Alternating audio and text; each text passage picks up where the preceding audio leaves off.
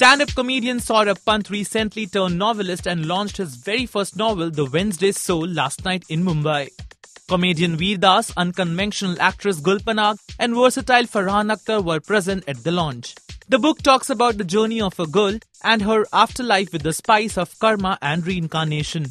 Saurabh wishes his book to be made into a Bollywood film. When asked him about his personal choice for the female protagonist in the film, his wit-cracked sense of humor confessed, stories about a woman who is who rides a bike and uh, and she beats the shit out of a lot of people and she's feisty and crazy and insane and man in the best way possible. That's that's good for me. Our Shutterbug caught Farhan having a gala time as he admits the way he wants to die.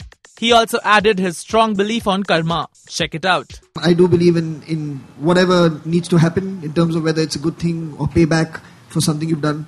It all happens while you're still here. I want to die with my boots on. Like while at work. Like No, work. it's obviously some kind of a war metaphor.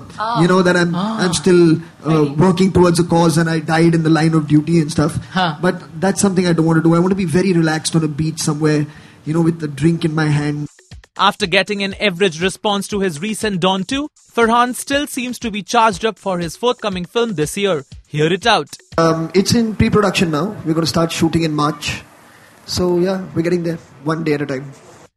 Well, we congratulate Saurabh for his newly launched novel and wish Farhan a great success in his career.